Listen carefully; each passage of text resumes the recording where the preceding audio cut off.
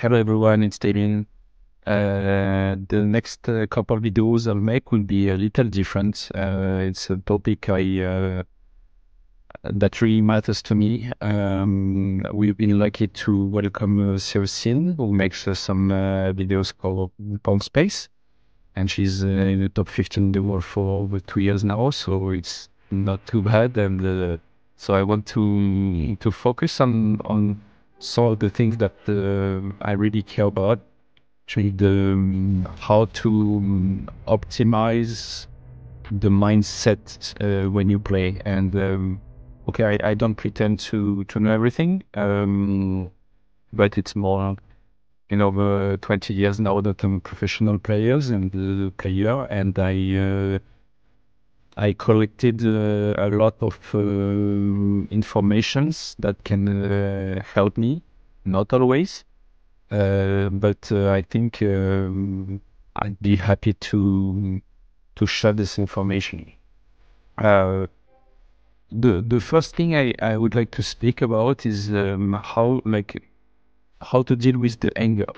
Um, table tennis is a very precise sport uh, when you need to control very well the muscle and control this crazy amount of spin. And um, if you are, if your mindset is to be angry and uh, negative, it's um, it's very hard to to play to play your best level. Uh, but also, I see some uh, some coaches that when they have a student that uh, that get ups- that is getting upset and that express the anger. Uh, is like most of them they they try to like to control it to to keep it inside too much sometimes. So i think it's um it's very um like it, it, really depends on on your personality. There is some personality that they they express too much anger and it, it tends to be uh, very negative. But some personality they try to keep it too much inside because they have been told to that they, they need to keep inside. And I'm not sure it's also very very good. Sometimes you need to to let out, you know, the um, the frustration you you have, um, and uh, and it can it can help you. Of course, uh, it's it's not good if it's every point. If you if you start complaining every point, that will never help you. But if uh, I don't know, uh, once once every sentence you start uh, being like okay okay like saying something okay stop now and and being a little bit more vocal and sometimes when you feel a little bit too, too much inside like that you can't move too well it can help you uh, like move better and uh, and play better.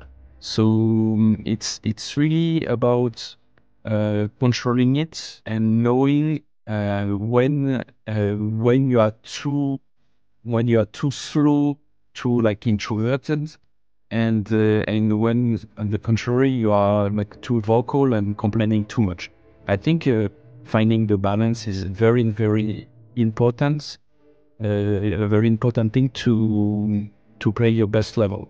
Um, so every every time, like uh, it, it's you to feel uh, when when you need to to say a bit too much, and or when you say too much when you're too negative. Okay, uh, on, you need to uh, you need to change and accept uh, the things a little more and to to be more positive and to be able to find more, more the solutions than you are doing